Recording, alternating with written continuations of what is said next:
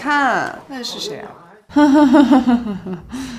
对，非常幸运的我，下巴掉了。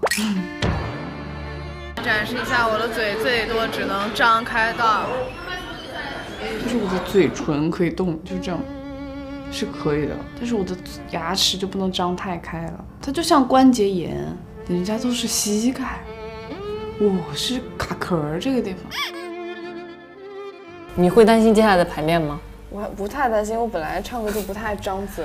我看到你这状况，我很担心，因为，嗯，我唱歌会很很注重咬字，所以我可能我跟你就很相反，我的嘴巴就会比较积极一点点，所以我其实会很担心，如果一个嘴巴没法张开的话，怎么去唱的？